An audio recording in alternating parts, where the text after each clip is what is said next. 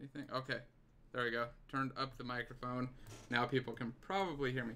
All right, so just uh real quick start on uh or explanation of what I'm going to do. Uh yesterday, was yesterday? No, day before.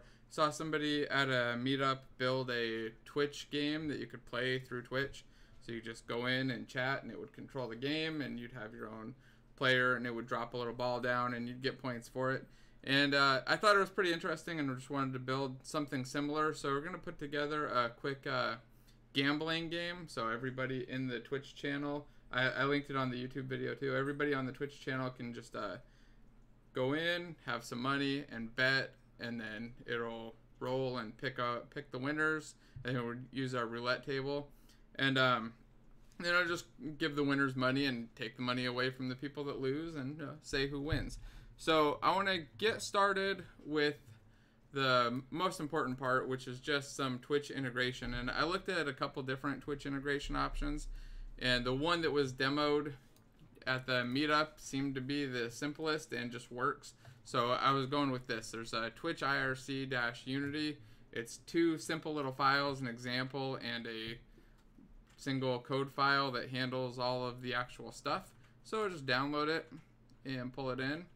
And I tried, like I said, I tried some of the other ones, and they didn't really work with Unity. At least the ones that I tried right away. There was going to be some work to convert them down to older version of C Sharp standard. So I just went with this, and this thing handles everything that I needed to do. So we've got the uh, two files here. I'm just going to take these and copy them into this empty project. And I'll, I'll try to keep an eye on chat too, just uh, if I miss it, just send it again. Alright, so we got these two files. Actually, let's create a scripts folder first. And put these two in here. And let me know if there's anything wrong with the stream too. If anybody sees any problems, uh, can't hear, can't see, anything like that. Hopefully it's all good. This is the first time I'm trying to stream to two different sources at once. Alright, so we've got the scripts in here. There we go. Should show up any second. And I'll switch over to the scene view for a moment. And now I'm just going to create an empty game object to hold the uh, the Twitch script. Oh, wait, where did my scripts go? Oh, okay. I put them in the scenes folder, not the scripts folder. There we go. So I need to create a thing to hold that Twitch IRC object. So I'll just create an empty game object, and we'll add that Twitch IRC component. And then here, it just takes an uh, OAuth key, a channel name, and a nickname so for the channel name, it's just Unity 3D College. For the nickname, I don't remember if this mattered at all, but I'm just going to call it a GameBot. And then the OAuth key, you actually get online. Um, here, let's see. If you search for Twitch password gen or just where to get your Twitch key, you can hit connect with Twitch. You'll get this, whatever, twitchapps.com slash TMI Hit that and you'll get a key.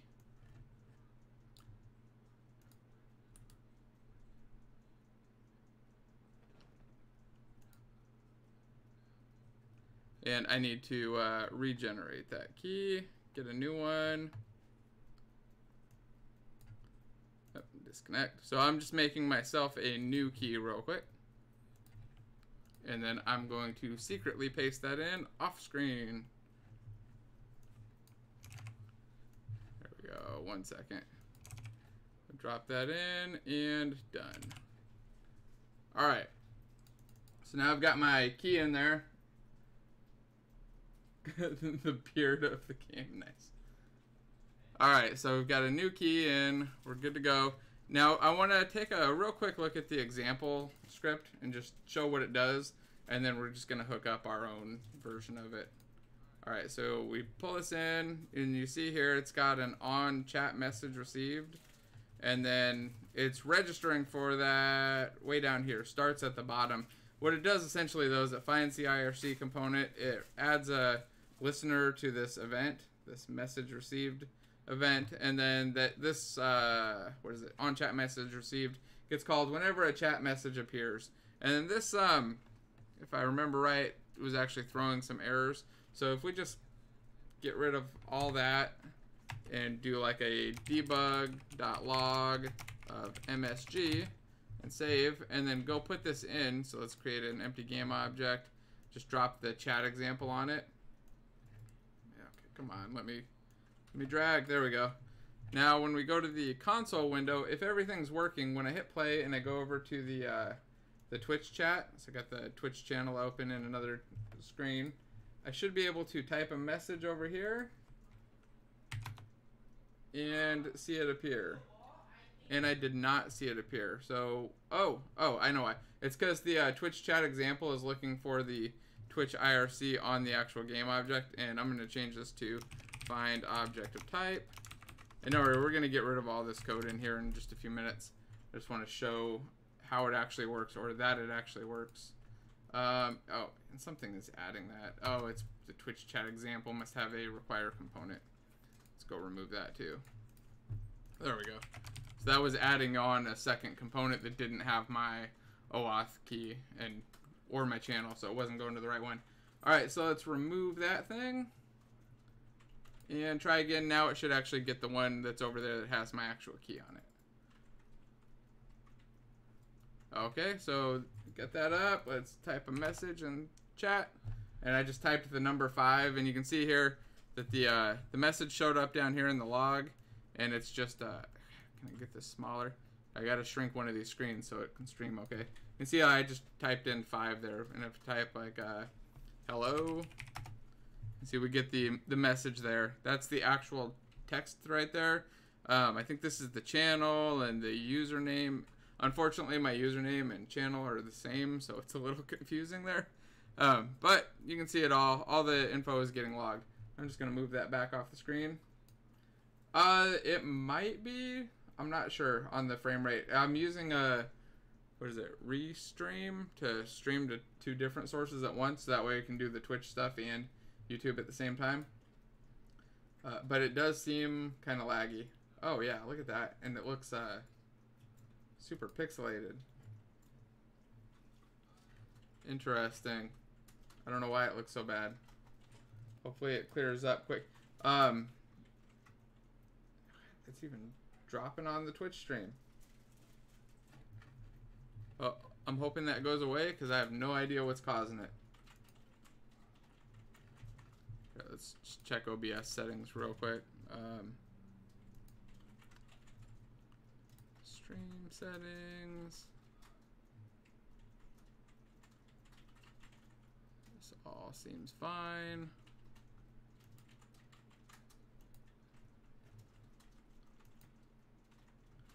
Yeah, I see that. It looks like the whole stream is frozen. I have no idea why it's going so slow like this.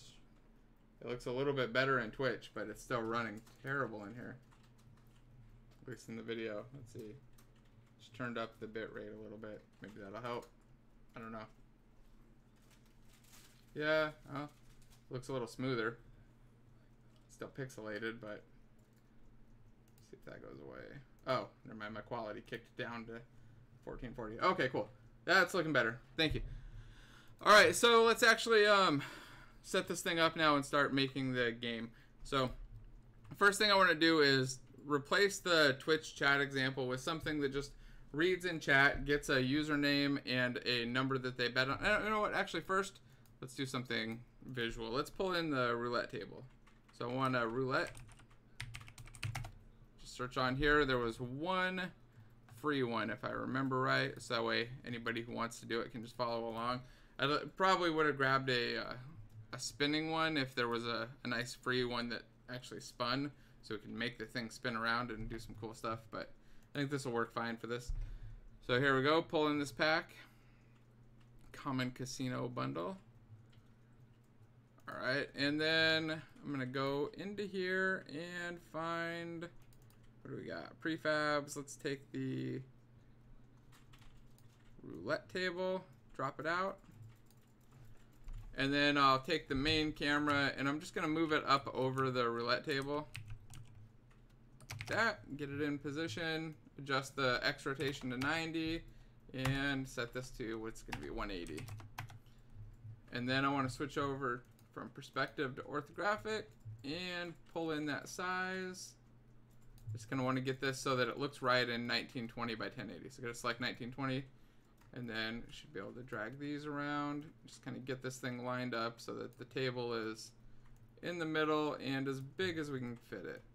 Let's see. Oh, right about there. That's good enough. So we've got a table in there now. Perfect. Now I'm going to save my scene. And now we'll do some code. So, like I said, I think we need to split out these chat messages first and then figure out the username and the number that they want to bet on. What, what I'm going to set it up as is be able to type in the number and then you'll place whatever one poker chip on that number as a bet and then continue on. So let's see. For this, we need a new script, and I think it's gonna be. Uh, let's uh, let's just create something and name it something. Call this uh, chat mess or chat controller. That'll work for now.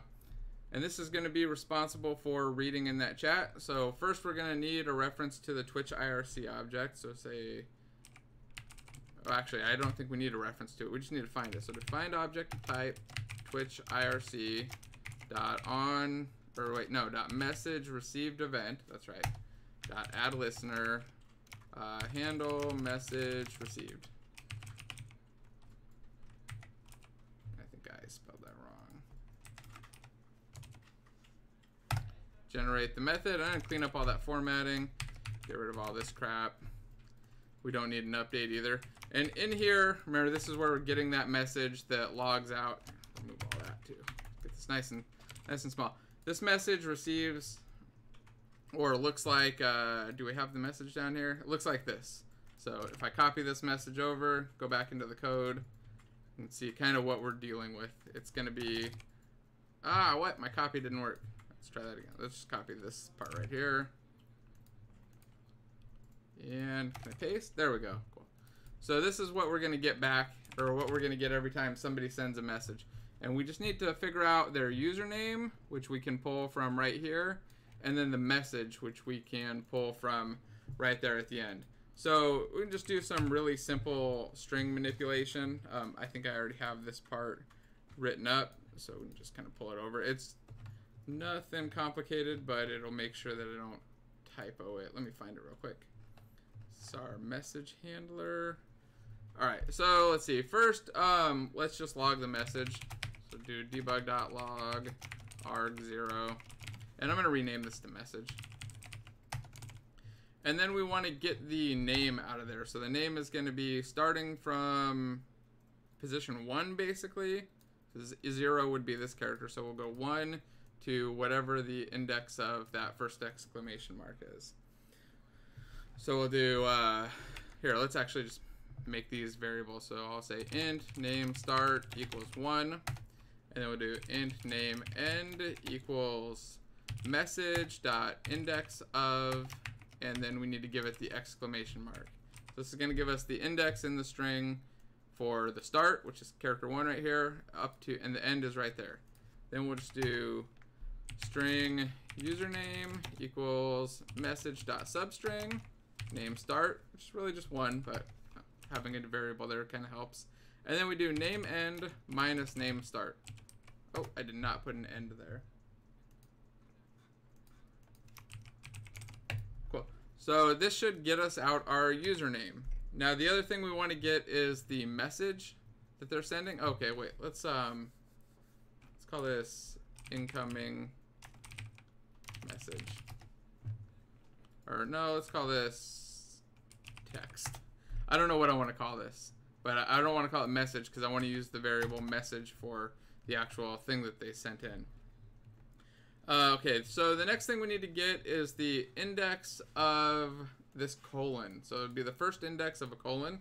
So say int uh, message start equals text dot index of, and we give it a colon. It's also single quotes here because we're just looking for a single character.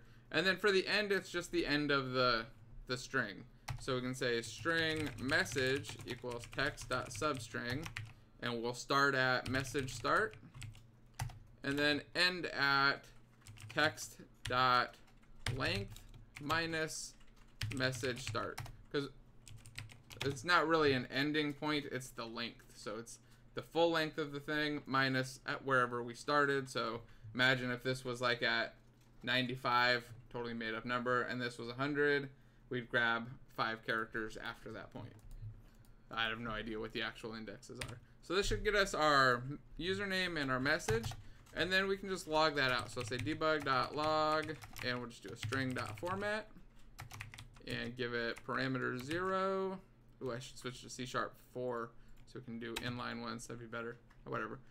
Uh, so it'll be mess or number or parameter 0 said parameter 1 and then we'll give parameter 0 will be the username and 1 will be the message.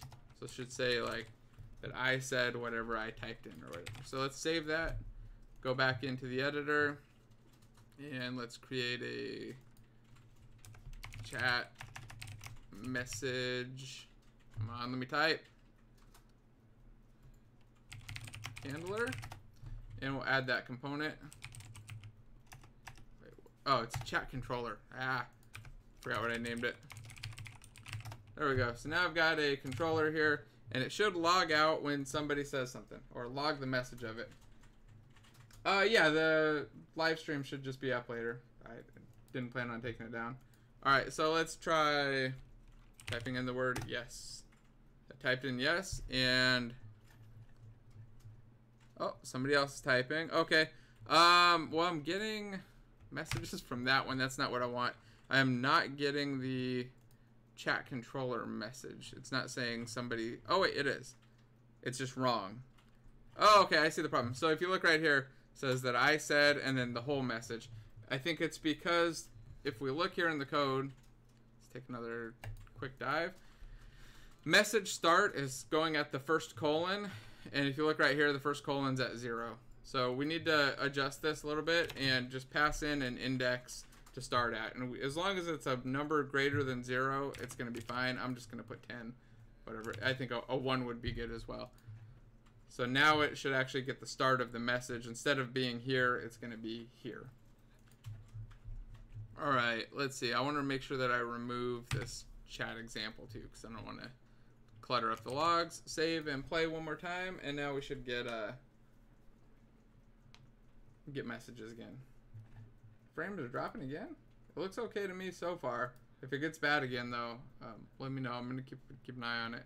There we go. Oh, back to normal. Perfect. Somebody's typing in there. And there, look, I said test. Except we still have the colon there, so let's uh, strip that out as well. So if we go back into here, what we can do is just increment message start. So instead of the index of this, which is going to be right here, we want to do the index of it plus 1. So that'll get us from, from this point to this point.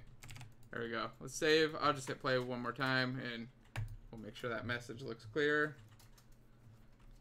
Type in 1, 2, 3. Oh, oops, I did it a little too early. There we go.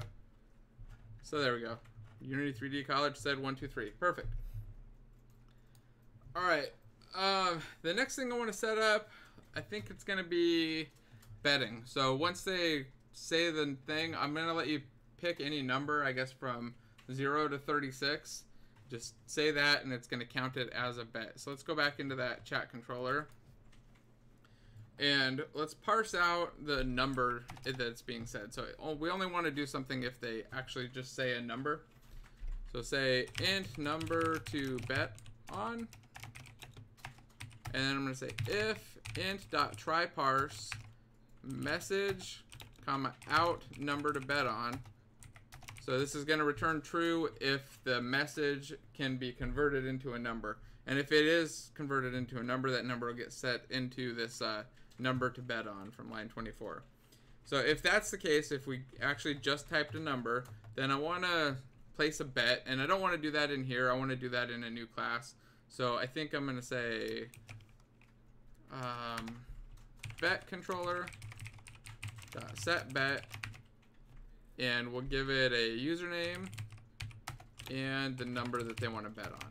Now we don't have a class for this, so we're just going to create one. I'm just going to go right down here to the end of the file, say public class bet controller, and we'll make that a mono behavior. And then here we'll add in a set bet method. So say public void set bet, which will take a string username and an integer number to bet on. Just want to get this all separated out so this bet controller is responsible for the actual bets and nothing else is. All right, um, now we need to find a bet controller. So let's copy that, go up to the start, and we'll say bet controller equals find object type bet controller. We could turn these into singletons or something else, but I don't really need to. This is going to be pretty simple. There we go. So now we've got it generated. By the way, it's just control period to generate that field. Control period and then enter just auto-generated the field. So now we have a bet controller and we have a set bet method on it.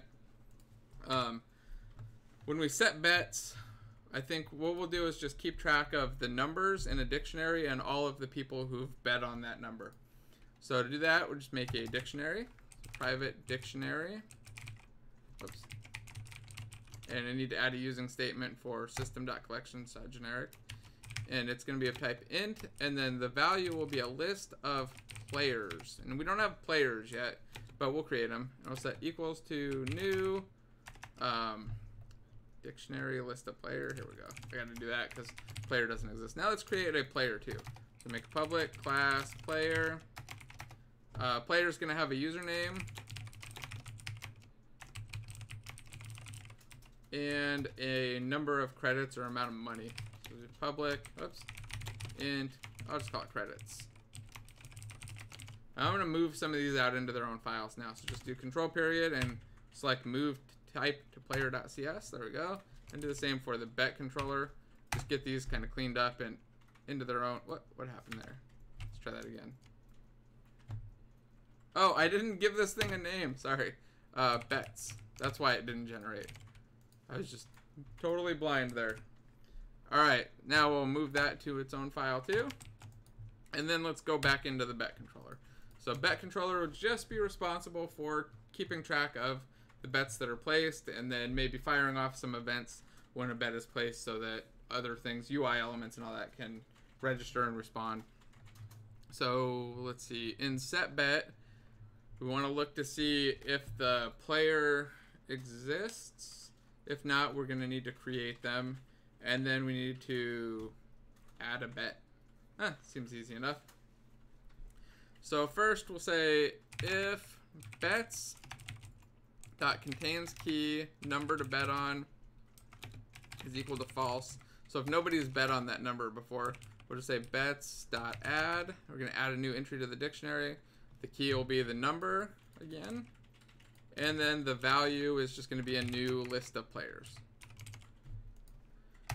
Then we want to, well, find the player. Hello, Mint Arcade. trying to lightly watch chat while we're doing this. Um, so we want to find the player, and we should probably make a player controller too.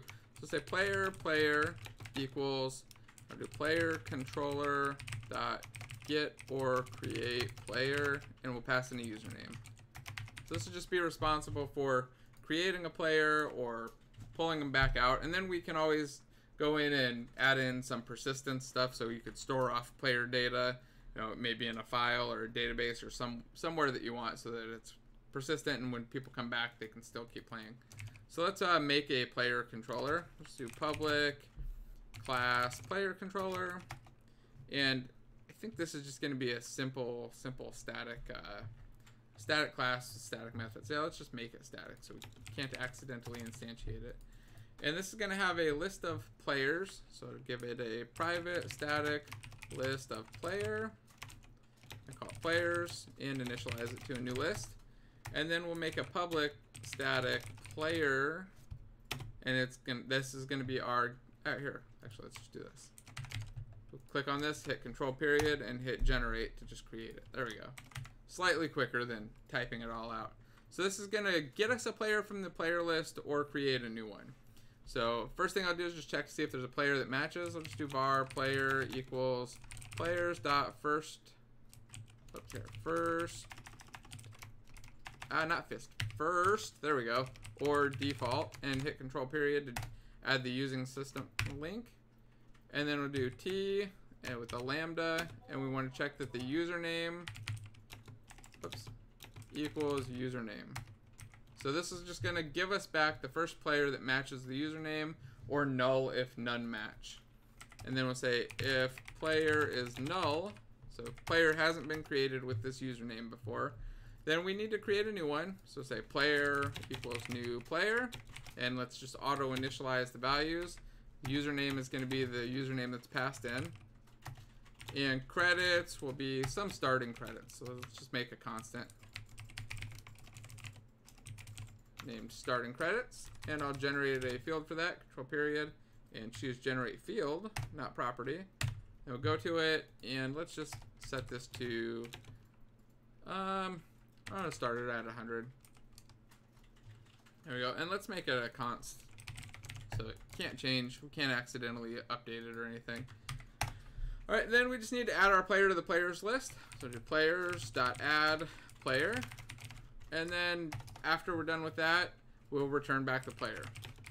So if we did find the player, remember this isn't going to happen. We're just going to skip right over and return it. If we didn't find it, we're going to create the new player and add them to the list and then return them.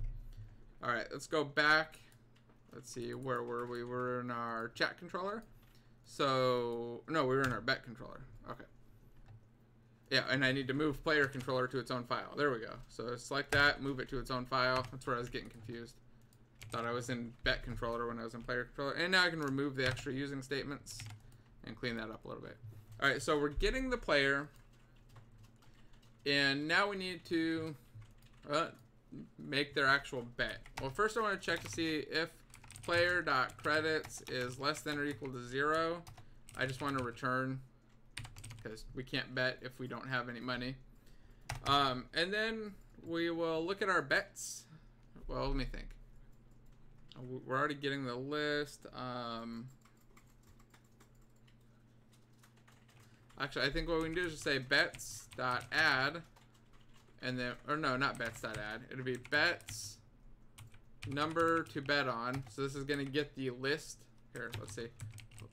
Let's spell it out. List of player players betting on this number. I'm trying to make it really explicit what we're getting here. So this is that list of players. That's this right here in the bets for the number. So if it's like number four, it's the list of all the players that bet on number four. So this is that list. And all we need to do is add the player to that list. So we're adding the player to the list of people that have bet on whatever number is passed in here. Um, after that, we just need to take away a credit. We're just going to allow them to bet one for now. So just do player dot take credit I'll make take credits, even though it's only going to be one. No, take, take credit, one. There we go, and we'll generate a method here, and this will just say credits minus minus. Now we could just subtract it there, but I think uh, I want to make this private, and then maybe update some UI elements or something later. So I want to have a path for it that's really obvious. I don't want to put anything into the uh, the property there. All right, so this should take our credit and then um, I think the next part I want to do is actually show something on the screen. So right now we've got all this code in here to take a bet, create a player and all that, but nothing's really going to show up here. So let's um let's create some text that'll show up on the screen and just you know say when somebody bets. So first thing I want to do since I'm creating text is import text mesh pro. Let's search for text mesh grab the package and pull that right in.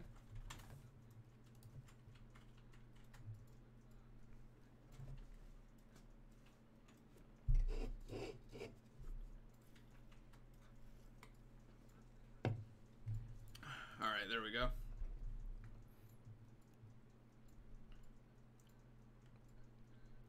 Almost in. And then we're just going to create a text that goes along the top and then um, we'll just show some number of messages in there and just kind of have those scroll up or scroll past. Because uh, the take credit is uh, yeah eventually we we could put in a bet value. I just haven't uh, put that in yet. Because we need to keep track of how much they bet. Right now it's just um, doing a single chip per call. So if you bet on it three times, it's just going to put you in that list three times and take away three credits. Um, yeah, I think eventually we could set it up to pick like a, a number and the amount that you want to bet. Just wanted to keep it relatively simple. All right, so TextMesh Pro is imported. Good. Now let's create a TextMesh Pro object. So just go to UI. Oh, what? We have an error. Oh, okay, hold on. Oh no, uh, TextMesh Pro already has a class named Chat Controller. So let's just rename this. Um, I'm gonna call this Twitch Chat Controller. There we go. And I just need to rename the file so that it matches. Otherwise, it's not gonna be able to compile. So it's this one right here. Renamed Twitch Chat Controller, and my errors have gone away. Perfect. So now I should be able to pull in TextMesh Pro. Oh, actually, I probably need to do a build. Oh no, I still haven't. Oh no, no, no, what happened? Ah, hold on. This needs to be chat controller. I renamed the wrong one. Uh, and then where's the one that I have? This one right here. This needs to be Twitch chat controller. Sorry, guys. I totally renamed the wrong thing. Actually, I might have renamed them both. Okay, now. Okay, and now I'm missing my using system.Linq. There we go. Oh, and credits can't be set private because it's initialized in there. Well, it could. We'd have to just change it up just a little bit. All right, now if I can run, we should be able to pull in our text.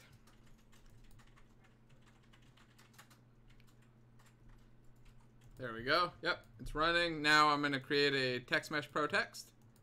So UI TextMesh Pro text. And like I said, I want to anchor this on the top with a stretch. Or this one right here. Top and stretched. Uh, I'll pick a different font because I don't really like Liberation. So we'll go with the Roboto. Um, crank up that size a little bit. Oh, that's a little too big. Uh, let's go with like a 72 point font. And then um, let's put a sample message like Jason bet on 14. There we go. So this will be our text that's just going to show, like I said, some number of messages. Let's find that object again. There it is. Oh, let's go to 2D mode. There, there we go. So there's our text object. And I'm going to stretch this out, just make it a little bit taller. So it can go like, whatever, little, close to halfway down the screen. I'm thinking right about to there. Then after that, it should just kind of scroll up. All right, so save the scene. And oh, I'm going to rename this to bets text and resave the scene. And then we're going to create another script. So here, I'll just add it right on here. We'll just create a new script, and I'll call this bets text. This will just be responsible for updating that text object. Oh, where, it didn't open the right thing. There we go. Open up bets text. Um, so bets text is going to need, here, let's get rid of this all, clean up the formatting. It's going to need a text reference. So I'm going to say tmpro.ugu. There we go. And this will be our text. And let's just get rid of that and add a using statement for using tmpro. And then I'll create a start. I guess I just deleted it, but whatever. We'll create a new one. The text equals get component UG. There we go. Nice little shortcut. UG usually finds it. So this will get us our text, and then I want to listen to the bet controller for whenever a bet happens, and then update the text. So we'll say find object of type, we'll get the bet controller, and here we'll just say on bet placed plus equals something. Now this doesn't exist, so I'm just going to copy it, go into bet controller, and let's create an event. So say public event action and add a using system statement. And here we're going to need the player and the number that they bet on. So it's going to be a player and an int. And it's going to be named on bet placed. And I'll just give it an empty delegate as the default. You can just leave it null too because I know I'm going to hook it up. But I just have a habit of adding that there just so if it's ever called and not used, it doesn't blow it. So on bet placed, needs to be called whenever somebody sets a bet. So I'll do that right here on bet placed, and we'll pass in the player and the number. Um, and let's rename this from set bet to place bet. That makes more sense as a name for the thing. So now on bets placed will get called whenever somebody bets. Our bets text is going to listen to it. Now I'm just going to hit back back and plus equals and then hit tab to auto generate it. and Enter. So this will be player and number bet on. So now we've got a text object that's going to get back all this data and then create some text entries. So what we'll do here is create a, let's do this. I'm gonna, I'm gonna keep this less than optimized, but it's gonna be nice and simple and just work. So we'll just make a private list of string, and I'll call this bet messages equals a new list of string. And let's mark this private explicitly too. So now we've got a bet messages list. And here we're going to add a message to that list. So say bet messages dot add, and I want to format this. So do string dot format, and it's going to be zero bet on one, and then let's put how much money they have remaining. Two remaining. So these are the parameter indexes. So zero is going to be player dot username. On new lines. So the first one right there will be the username. The next one is going to be the number that they bet on. So that'd be number to bet on. And then index two right here is going to be the amount they have left. So just do player dot credits. So now you can see how much money you have left after you bet. That way I can be lazy and not create a, a UI showing how much money you have.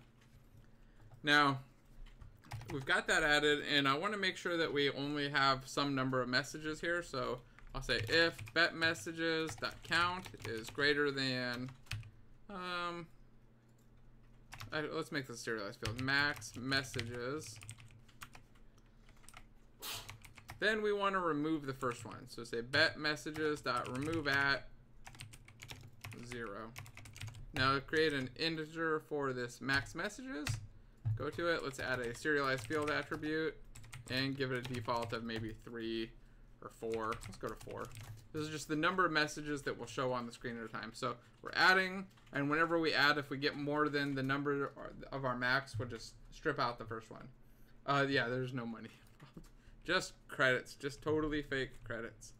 Um, so the next thing we want to do is turn all these messages into a string and update the text right there. So we use a string builder for that.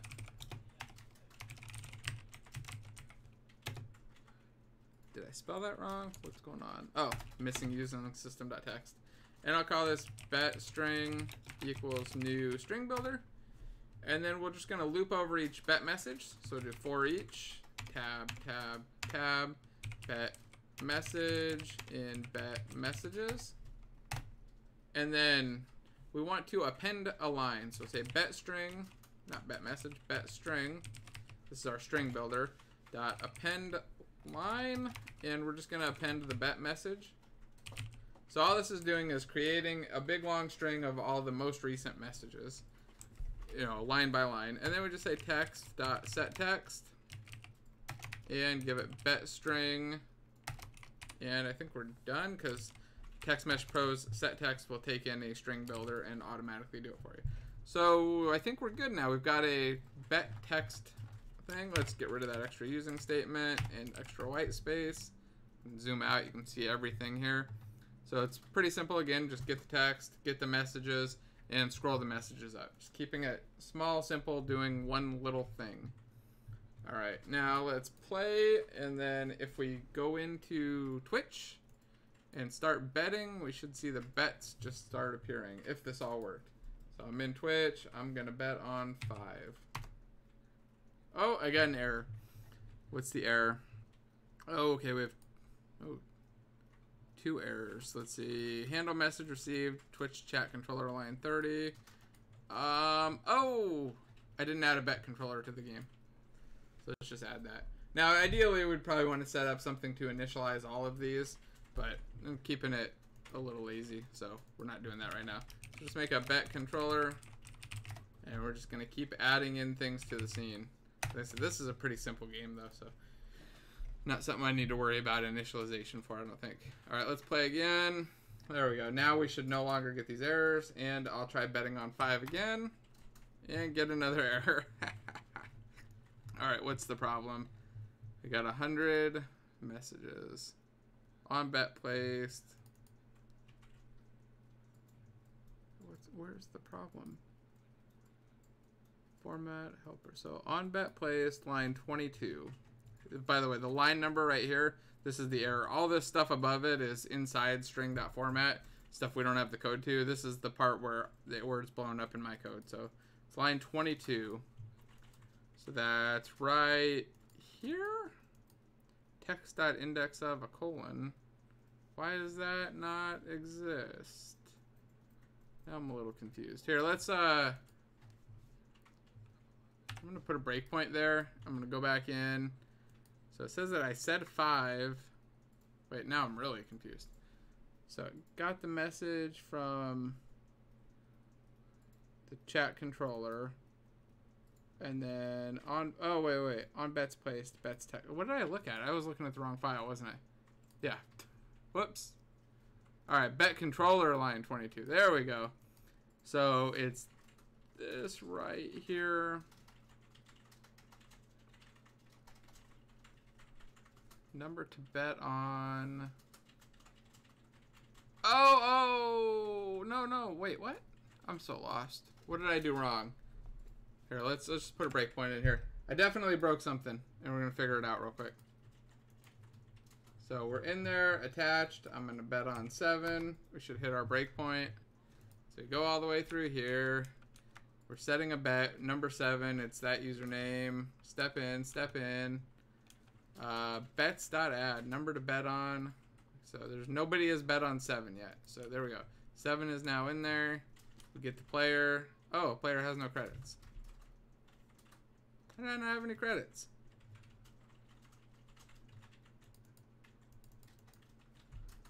Let's, let's, let's change that. I'm going to give myself 100 credits and bet again on number 8. Alright, and we'll just go all the way down to place bet. There we go. Now I've got credits. So players betting on this equals bets for 8. Okay, then we add it, and then we take a credit, and then we call on bet placed. And then we step in, create a string. Oh, somebody else is betting. Ah! We're getting lots of lots of bets coming in. Now I'm hold on. Where are we at on the call stack? Am I did I screw that up? I did, didn't I?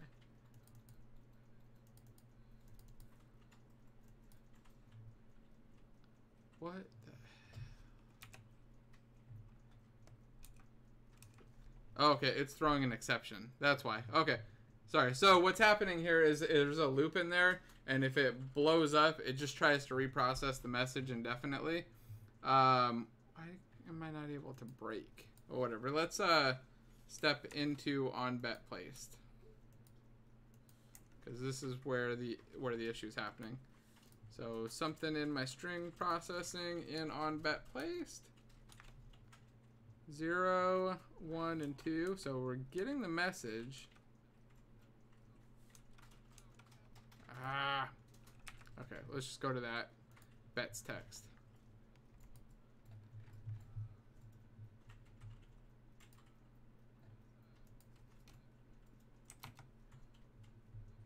What? What's wrong with the... Oh, yep, I see. It started lagging again.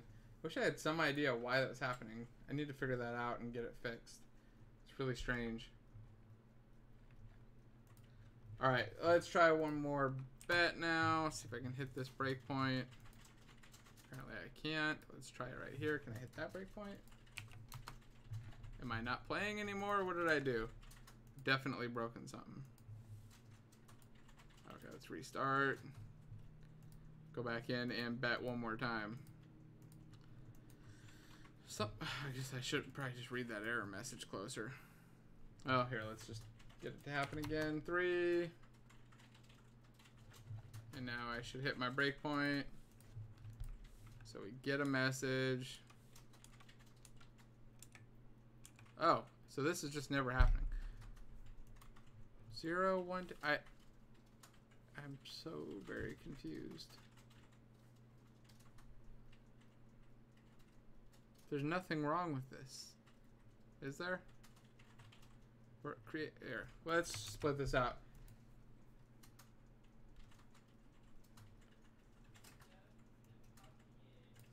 Okay, yeah, I'll have to check the CPU. It seemed weird if it was hitting it though. This game isn't really doing anything. And let's see. All right, here, let's just pop up Task Manager. Got it there. Oh yeah, it is pretty high.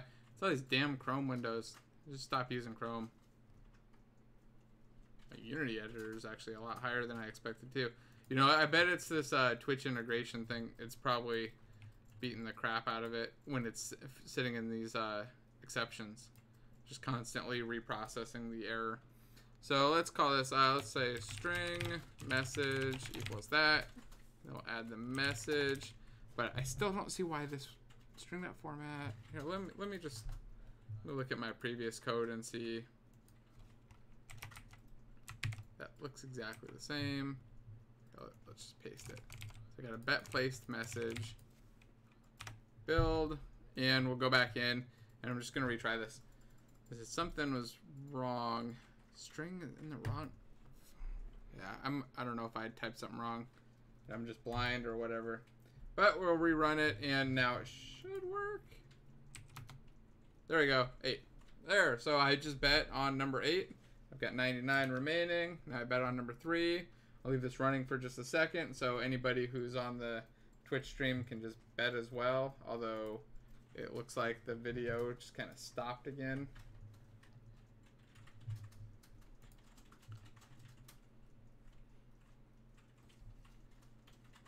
Yeah, I don't know what's going on there with that damn streaming. Alright, so we've got it there. Give it a second to catch up in OBS or whatever it's doing. Yeah, stop playing. See if it kicks back up.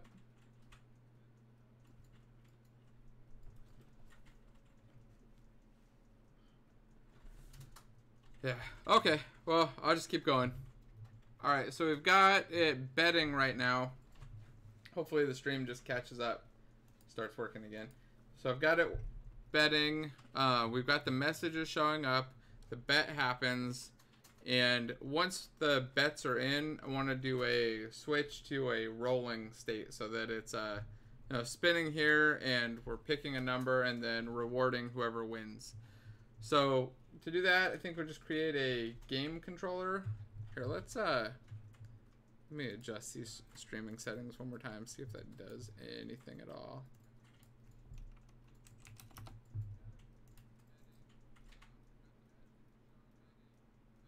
Okay, that's weird. Updating the streaming settings seems to have fixed it. Which is very strange. I just changed the number. I don't know if it reset something or what. Okay, so we've got, um, uh, I'll restart it in a few minutes too so everybody can go in and bet. But I'm going to make a game controller that just keeps track of when we're in a betting state and then when we're in a rolling state and maybe when we're doing some rewarding at the end. So I'll create a new script here. Just call this a game controller. It's going to be a really simple game state. We'll open that up. And then, um, let's see, in here we're going to need a couple states and probably a couple serialized fields. So here, let's get rid of everything, clean that up. Let's add a uh, public enum game state, and I'm gonna have betting, spinning, and payout. Seems good. And then we'll create a game state object. So say public game state, current game state, the getter and a private setter. So I don't want any other classes changing the state of the game. And then, let's see, we're gonna want a, maybe like a betting duration. So let's add a serialized field for that. Private float, bet, duration. And I'm gonna copy and make a spin duration as well. And let's set this to maybe 20 and eh, five seconds should be good enough for spinning. Okay, now let's see, what do we want to do? When we start. So do a private void start. In here, we're going to set the state to betting. So call set state. and we're going to give it game state dot betting and we'll generate that method. So this will, let's see, replace that with state. Current state will change to this. So current game state equals state. And then we're going to do different things based on the current state here. So current game state, we'll do a switch. And we'll just say case dot betting. So if we're betting and we start betting, we want to reset a timer to the bet duration. So time in current state, or here, time remaining in current state equals bet duration. And I'll generate a field for that. And then I'll break. I can't, I don't think there's anything else that I want to do at that point. So when we go into betting state, we'll set our time remaining to the bet duration. Um, and let's add a, oops, let's add a case for spinning. And we'll do the same, but we'll set it to the spin duration. And break. And I think that's it. I don't I don't have anything to do yet in the other state. Um, now, let's see. Now I want to add an update. Yeah. And we just want to say time remaining in current state minus equals time dot delta time. Um, there probably won't be real physics for the ball just because the model that I'm using doesn't have, uh, it's not separated out. The, the roulette wheel is part of the table, so it doesn't spin. If I grabbed a roulette wheel that could spin, it'd be really easy to just put a ball there and spin it around. I think I'll just do uh, a fake, just put a number there or something for now, just so I don't have to go spend 30 bucks on a roulette wheel that spins. if there was a free one out there, I probably would grab that, but I figured I'll just make something that everybody else can copy along for free as well. Not have to go buy some asset to do it. Alright, so let's see. We're updating, we're removing some time. So this is just like our countdown. And then uh, when we run out of time, so say if time remaining is less than or equal to zero, we want to move to the next state. So let's say move to next state and generate a field or a method for it. And then here we can just say um, switch current game state case dot betting and we'll say set state to spinning set state dot spinning there we go and break and then I'll copy this for the other two states say spinning we'll go to payout and payout we'll go back to betting Cool. and right now our payout is going to instantly go back to betting because we don't have a uh, we don't have a, a, duration set for it. So uh, let's just add one. Let's, let's add a payout duration. And then we can copy this and drop it in. I really don't like having all these switches, but since there's only three and it's tiny and this isn't getting updated again, I think it'll it'll be all right. Just feels a little dirty when I start putting in a bunch of switch statements like this. Okay, so now we're moving to the next state. Um, I think, what else do we need to do in here?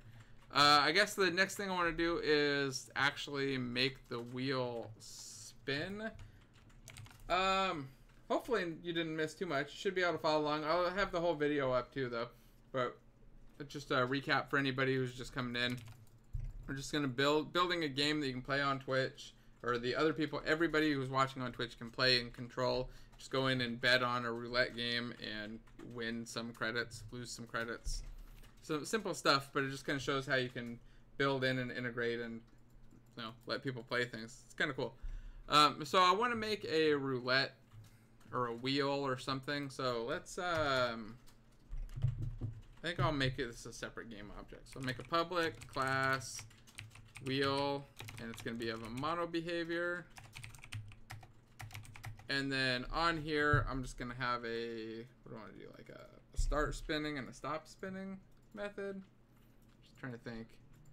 Because, yeah, I think what I want to do is like start spinning when we go into spinning state, and then stop spinning when we leave the state, and then do the payouts. Yeah, let's do it like that. So we'll make a public void start spinning and a public void stop spinning. Actually, let's make this a public int. No, I'll leave it a void because stop is a command. I don't like returning something from there. Okay, so this is going to be responsible for updating our wheel. Like I said, I think we're just going to fake it and use some text for now. But there's no reason it couldn't be changed to spin a wheel. So let's move this to a new file. And then let's go into that wheel class. So control comma, go to wheel.cs. And then in here, I'm going to add a reference to a text mesh pro text. So let's just add a using statement. Using TM pro. And then I'll say, oops, get rid of that extra one there. Go private and type UG. There we go. And call it text. So this is going to be our text object in there. And then when we start spinning, we'll update it. When we stop, we'll stop it. But to do that, I think I'll just say private void update. And I'll say if spinning, then text. Oh, actually, I don't want to update text yet. So let's create a field for spinning. We'll set it to true and start spinning and to false and stop. And then I want to pick a random number. So first, let's say current number equals uh, Unity engine. Whoops, not Unity engine dot random dot range. I could just type random dot range, but I tend to have system in there all the time, and then it just conflicts and becomes an error. So just avoid that. And let's go negative one to 36 and we'll generate a field for the current number. And actually, let's um, turn this into a public, and let's make that a capital C and give it a getter and a private setter. So it can only be set from inside here, but we can read it outside this class. So we're going to update the number every frame as long as we're spinning, and then we'll say text.text, text, it's just or text.set text current number dot to string. So this will just update the text in there and it'll stop when we stop spinning. Okay, so let's hook this up. We've got a wheel. I need to go back into the game controller and um, when we set state, when we go to spinning, I just want to do find object of type wheel dot start spinning and we realistically we should cache these things but like I said, it it doesn't matter for this at all, so I'm just not doing it. But we should probably cache these wheels or turn them into singletons or something else, but we're just not going to do that for now because we don't have to worry about it enough. It looks it's simple and small. So in payout, we'll stop spinning. So when we start spinning state, we'll start it. When we stop, we'll stop it. And um, yeah, that's good. So I'm going to go back over to the editor and we'll just add a text object for the wheel. Just go right here, right click, UI, text mesh pro text. What happened? I don't know what happened there. There it goes. Oh, super laggy. I'll call this wheel text. And I'm to move it so that it's just over the wheel. And I'll make it kind of big. So I got these side by side and kind of see where they're at. And we'll expand that out. We need to center and center and auto size to crank that up. And I'll probably just turn that max size up to something huge like 200. I don't know what it's going to go down to. And I'll just put 0, 0 for the number there. I'll move that over so it's centered over here. I said, I think a spinning wheel would be a lot cooler, but um, yeah, I just don't want to buy one. So there we go. Go with the Roboto. Maybe we should add a, a little bit of an outline or something. Oh, wait. Now I'm doing the other one. Let's change fonts. Just pick a different one. I don't feel like duplicating the font. We'll go to bangers and add a little outline.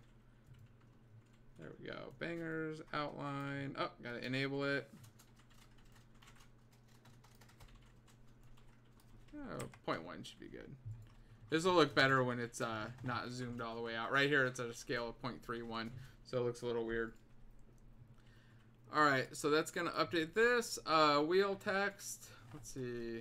I need to actually add my wheel script. Actually, where should I put that? Hmm. Because, there, let, us look at the wheel script one more time. Where's it getting the text? It needs to get the text. Um, I I don't like the idea of putting this on a UI element though. So let's make the serialized field and we'll go back in. We'll just create a wheel for now. I, I don't, it's not really a text object. It's just updating a text. So I don't want to have it on, um, on the actual text object in the UI. I think it would be more confusing. I just got a wheel and we'll add the wheel and then we'll link up the text right here. I'm gonna save that and let's see, let's hit play. Hopefully the stream doesn't go to crap as soon as I hit play. Guess we'll find out. Alright, it's playing, and let's see if we can bet. So I could bet on like 15, bet on 12, bet on 10, bet on 8. Alright, there we go. I'm just making a lot of bets. And is our game... Oh, here's a question. Did I... Nope, I didn't. Let's uh stop and let's add a game controller first. Create empty. This is that game controller object that we created. And name that game controller. There we go. Now let's try it. I'm going to switch this to debug view too, just so we can watch the uh, the time remaining countdown. Okay. Oh, sorry, Mint. I it wasn't running right when you typed it. There we go. Now it's up. So let's let's type some bets. And in a couple seconds, it should switch over.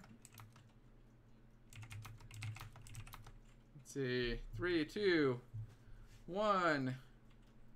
There we go. Picking a random number. And it was 19. We don't have anything to pay out winners yet, though. I don't think anybody won. And now it's in payout stage. Now it's back to betting stage. And the bets are not getting cleared out yet, so... We should be able to keep betting and then see it kick off one more time. Once it finishes the next roll, I'll uh, switch over and we'll do the, the payout stuff. So the people who bet can actually win. There we go. Spinning, spinning, spinning. And 15 is the winner. All right, so let's uh, go back into the code now and make it do a payout. So if we go to our Twitch game, go to our game controller, when we stop spinning and we switch to payout, we want to call something to tell it to actually pay out. Um, I think that should be on our bet controller that, that does that. So I'll just, um,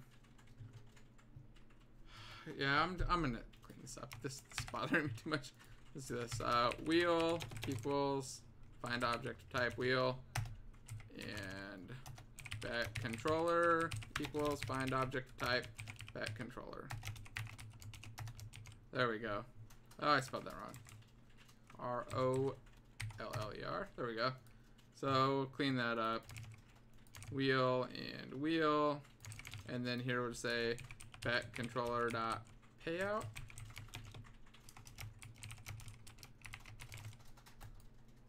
There we go. And then we'll generate a payout method. Oh, what have I done? Undo, undo, undo. Laggy. Alright, here we go. Control period. Generate method that semicolon at the end, and then F12 to go into it.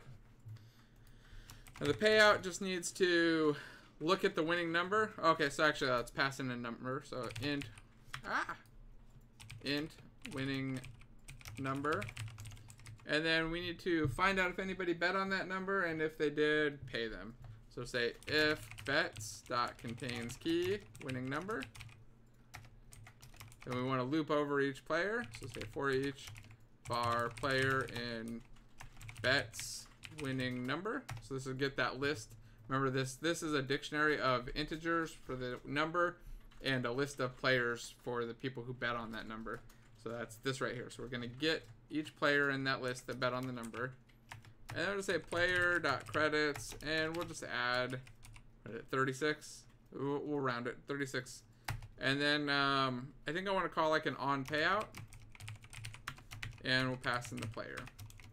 Now we don't have on payout, so let's generate that as an event, or create it actually, I'm just gonna type it. Public event action player on payout, and I'll give it an empty delegate. And then we're gonna wanna set up some text object here to just listen for payouts and spam it. In fact, we could probably just do that on the bets text and just uh just show the wins right there. I think that works. Yeah, let's do it here. So say here, copy that and this will be on payout. Delete that plus equals tab tab enter and change this to player. And then what I can do is just extract this whole chunk of code right here and say extract method and call this add message. And then in the payout, I could just add a different message. Let's add message string dot format uh, quotes zero one. There we go with an exclamation mark. And then we'll give it player.username. So this should just say somebody won whenever that happens. And then we want to go back over to that bet controller because after we're done with all the bets, we do want to clear them all. So just say bets.clear. So after we've paid everything out, we clear out all the bets. And I think we're good. Uh, the last thing I want to do in here, though, is make sure that we can only bet when we're in the betting mode. So I think we'll say find object type game controller dot current uh, dot current game state. So say if the current game state is not equal to betting, return. We can't bet if we're not in the betting state. Oh, get rid of that S. We think, did I miss anything? So we should get payouts. We should clear the bets. We should see the bets appear, or the, the winners appear. that's good. Let's see. Let's uh, give it a play. Oh, I definitely broke something. Oh, what's here? Oh, I didn't pass in the current winning number. Uh, and the winning number right now is on the wheel, so say wheel dot current number. It's whatever number the wheel ended on. Let's just look at that real quick. Remember, it's just doing an update. When you stop spinning, current number will stop changing. Oh, and I'm doing a negative one here, so let's change that. I did negative one because we have a double zero, so say if current number equals negative one, I don't want to do this, so I'm to copy, I'll paste, and say else. And what we'll set for the text is just going to be a double zero. And you won't be able to bet on double zero, because if you type in a zero, it's going to parse that to zero. So that should fix all of our errors. Let's play one more time. Come on.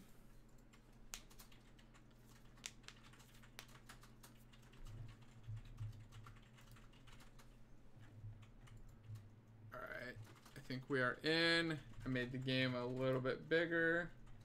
Actually, here, I'm going to stop. I'm going to make this go full screen. Maximize on play. Let's see it. Let's see if we can bet. There we go. Game is up. We should be able to bet now. I'm going to bet on 15, 12, 10, and I'll double bet on 10. Bet on 3, 5, 7. Just pick a bunch of numbers.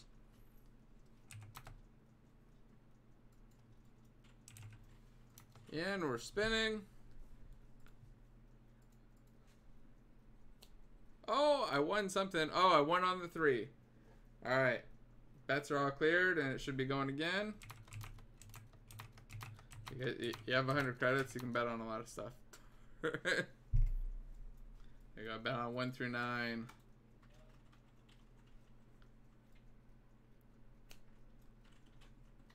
Should start spinning any second.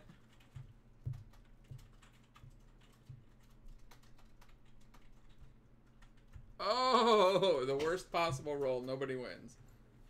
All right. I'll go one more one more round of betting here. All right. Does anybody in uh, Twitch or YouTube have any questions? By the way, can answer. I know the video seems to lag whenever I hit play, which is a, a damn shame. But hopefully it's a uh, here. Let me see if I can play with that bit rate again. Okay, 24 came up. Yeah, I don't know if anybody has any questions. I try to answer a couple real quick. I think I'm pretty much done getting this functional. Like I said, we could polish it up and make it pretty and all that. But I really just wanted to go through the process of getting something working and up in Twitch that's kind of playable. It would be playable if my stream wasn't lagging so bad. Um, we can go in, bet, you know, win some stuff. Oh, yeah, you guys are totally missing the uh, the numbers flashing. It's going a lot faster for me too. Oh, that's a real shame. Anyway, yeah, if anybody has any questions, feel free to ask away. Um, if not, I think I'll just kind of wrap this up and uh, maybe do a little mini version of this later where people can see just the code and stuff. And I can paste all the code for this online too. So if anybody wants to grab it, just grab it out, try it yourself. Um, you do have to remember to put in your key. You did that right near the beginning, so just go back to the beginning and drop in your, your OAuth key and your channel name, and you should be good. Uh, anyway, just hanging out for a couple more seconds, wait and see if anybody asks anything before I end it. Doesn't look like it.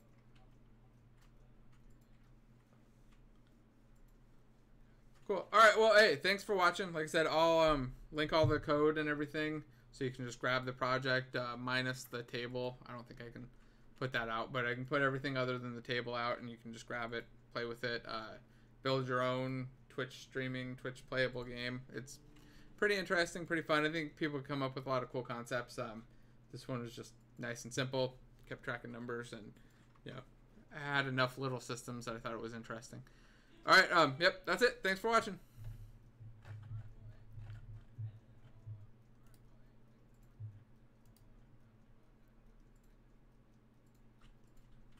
Oh, look at that. If I just give OBS priority, stream looks good. Alright, ending it for real.